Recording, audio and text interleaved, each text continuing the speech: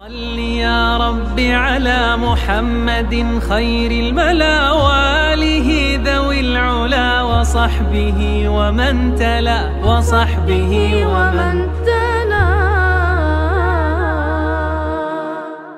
Assalamu alaikum mes enfants. Comme vous le savez, il n'y a rien de mieux que de commencer chaque histoire en mentionnant le nom du prophète. Et mes chers enfants, chaque fois que le prophète est mentionné, que devons-nous dire C'est très bien. Le prophète Mohammed sallallahu alayhi wa et les bons musulmans ont compris qu'ils allaient désormais émigrer, c'est-à-dire voyager de la Mecque à Médine et s'éloigner des infidèles qui leur voulaient du mal. Chaque jour, un petit groupe de musulmans quittait la Mecque pour aller à Médine. Cependant, le prophète Mohammed n'avait pas encore émigré à Médine et attendait qu'Allah lui envoie l'ange Jibril alayhi salam pour lui indiquer le moment du départ. Les mécréants qui voulaient nuire aux musulmans ont commencé à se rendre compte que les musulmans quittaient petit à petit la Mecque pour Médine. Ils ont dit Il faut nous rassembler immédiatement et préparer un plan. Un plan pour nous débarrasser de l'islam et des musulmans une bonne fois pour toutes, car si nous les laissons s'installer à Médine, ils deviendront plus forts et plus nombreux et viendront nous combattre parce que nous les avons torturés et opprimés. Le chef des mécréants les appela à se rassembler dans une maison appelée Dor al-Nadwa. Quel est son nom? Dor al-Nadwa. Ils se sont assis pour réfléchir. L'un d'eux a dit Et si nous chassions Mohammed? Nous le faisions partir hors de nos terres, lui et les musulmans, qu'il s'éloigne de nous et qu'on en finisse. Mais un autre lui répondit C'est une très mauvaise idée. Tu n'as pas vu comme il parle bien et comme tous ceux qui le voient l'aiment Où qu'il parte, les gens vont l'apprécier et le suivre. Puis, ils se retourneront contre nous. Puis, quelqu'un d'autre suggéra La meilleure solution est de l'emprisonner. Mais un autre lui répondit non, les compagnons sont solidaires et ne le laisseront pas enfermer. Ils vont nous attaquer et le libérer. Nous devons réfléchir à une autre idée. Le pire des infidèles, nommé Abu Jahl, leur a dit Moi, j'ai une idée à laquelle personne n'a pensé. Laquelle ont-ils demandé? La meilleure chose à faire est de tuer Mohammed. Chaque tribu choisira le jeune homme le plus fort de sa famille, et ils se rassembleront pour attaquer la maison du prophète et les tuer en même temps. Tous, d'un seul coup. Ainsi, la famille du prophète ne pourra pas tous les combattre, ni lui réclamer justice. Tous ont aimé l'idée d'Abu Jahl, et se sont mis d'accord pour que les jeunes hommes des différentes tribus l'attendent devant sa maison, armés de leurs épées pour le tuer. Chacun d'entre eux le frappera d'un seul coup. Mais quel plan diabolique Et contre qui? Contre la meilleure personne au monde, au cœur le plus pur, qui ne fait de mal à aucun être humain, ni à un animal, ni même aux arbres. Son seul but est de guider les gens vers le droit chemin, afin qu'Allah les aime et les fasse entrer au paradis. Mais les mécréants, eux, n'ont aucun espoir. Leur cœur est plein de mal, et leurs pensées ne sont que méchanceté. Ils pensaient que personne ne les avait vus ni entendus, car ils ne savent pas qu'Allah entend et voit tout ce que nous faisons. Mais Allah avait entendu toutes leurs paroles et vu tout ce qu'ils manigançaient, et bien sûr ne les laissera pas faire du mal à son prophète sallallahu alayhi wa sallam. Alors Allah envoya l'ange Jibril alayhi salam pour l'avertir en lui disant Ne dors pas dans ton lit ce soir, les infidèles ont préparé un plan pour te tuer. Il lui a également dit que le moment était venu pour l'égir vers Médine. Savez-vous qui vivait avec le prophète sallallahu alayhi wa sallam dans sa maison? Son cousin Ali, fils d'Abi vous vous souvenez? L'oncle qu'il avait élevé après la mort de son grand-père. Ali ibn Abi Talib était un jeune homme fort, courageux et brave. Mohammed sallallahu alayhi wa sallam est allé voir Ali anhu et lui a dit que l'ange Jibril alayhi salam l'avait averti de ce que les mécréants lui réservaient et qu'il était temps d'émigrer à Médine. Mais avant de partir, une chose extrêmement importante devait être faite. À votre avis, Qu'est-ce que cela pouvait être? Mohammed sallallahu alayhi wa sallam a dit à Ali radiallahu anhu Si nous avons quelque chose en dépôt appartenant à quelqu'un, il faut le lui rendre avant de partir pour Médine. Comme depuis toujours, le prophète Mohammed était connu pour être digne de confiance. Les mécréants lui confiaient leur argent et leurs biens chez lui parce qu'il en prenait soin et les rendait toujours. Vous voyez, même dans les moments les plus difficiles, le prophète Mohammed ne négligeait rien de ce qui appartenait aux gens, et il leur rendait tout, même s'ils étaient infidèles ou polythéistes. Vous vous rendez compte? Certains mécréants pensaient à le tuer, et lui pensait à leur rendre ce qui leur appartenait. Les jeunes mécréants qui voulaient tuer Mohammed se sont rassemblés devant chez lui pour l'attaquer au moment où il sortirait pour la prière de l'aube. Les jeunes des différentes tribus se tenaient donc devant la porte avec leurs grandes épées. Mais Allah est plus fort qu'eux et protégera son prophète.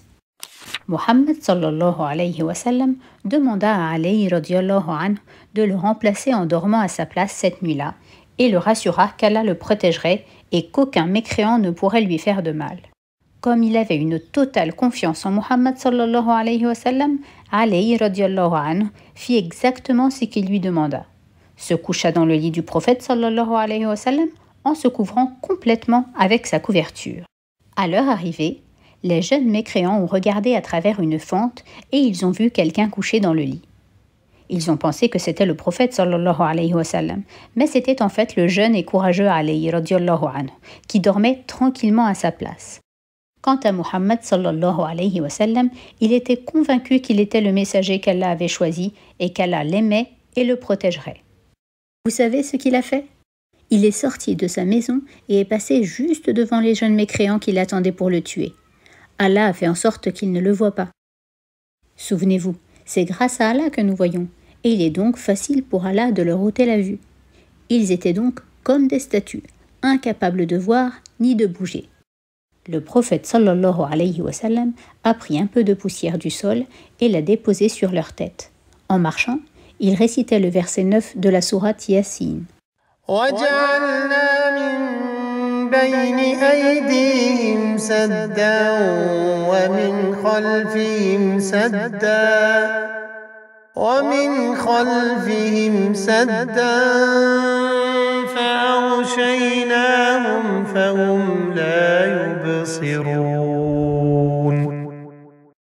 Ce qui signifie et nous avons placé une barrière devant eux et une barrière derrière eux, et nous les avons couverts d'un voile, de sorte qu'ils ne peuvent rien voir. Cela signifie qu'Allah a couvert leurs yeux et les a empêchés de voir quoi que ce soit, comme s'ils étaient endormis. Ils se tenaient debout et attendaient encore et encore, jusqu'à ce qu'un homme les voie et dise Qu'attendez-vous? Ils répondirent Mohammed, quelle déception vous avez échoué, il est passé juste devant vous, et a déposé de la poussière sur vos têtes. Puis l'homme partit. Ils s'exclamèrent. Mais nous ne l'avons pas vu. Ils ont enlevé la poussière qu'ils avaient sur leur tête, ont regardé à travers une fente et ont vu quelqu'un couché sur le lit. Il est encore couché. Il n'est toujours pas sorti. Ils sont vite entrés, mais ont découvert une surprise qui les a rendus fous. Vous avez deviné? Ils découvrirent que c'était Ali anhu, qui dormait sur le lit du prophète sallallahu alayhi wa sallam. Ils ne comprenaient plus rien. Comment cela était-il arrivé sans qu'ils s'en rendent compte? À votre avis, où s'est rendu le prophète sallallahu alayhi wa sallam après avoir quitté sa maison? Chez son ami le plus cher. Vous savez qui? Abu Bakr Siddiq. Nous aimons tous Abu Bakr, car c'est un très bon musulman et le prophète sallallahu alayhi wa sallam l'aimait beaucoup. Abu Bakr anhu, avait commencé à se préparer pour l'égir et espérait de tout son cœur pouvoir émigrer avec son meilleur ami Muhammad sallallahu alayhi wa sallam. Le prophète sallallahu alayhi wa lui annonça qu'Allah avait envoyé l'ange Jibril alayhi salam pour lui ordonner d'émigrer à Médine. Abu Bakr anhu, était très heureux car il allait émigrer avec Muhammad sallallahu alayhi wa la personne qu'il aimait plus que tout au monde. Le prophète sallallahu alayhi wa et Abu Bakr anhu se sont mis d'accord avec un homme de la Mecque qui connaissait la route du voyage pour leur montrer la direction de Médine. Mais d'abord, ils ont décidé d'aller se cacher quelques jours dans un endroit éloigné, car ils savaient que les mécréants allaient les chercher partout. Ils sont donc partis se réfugier dans une montagne éloignée appelée la montagne de Thaur, où il y avait une caverne. Ils sont restés dans la caverne pendant trois jours pour que personne ne puisse les trouver. À votre avis, comment faisaient-ils pour manger? Esme, la fille d'Abu Bakr, radiallahu était une femme courageuse et forte qui n'avait pas peur des mécréants.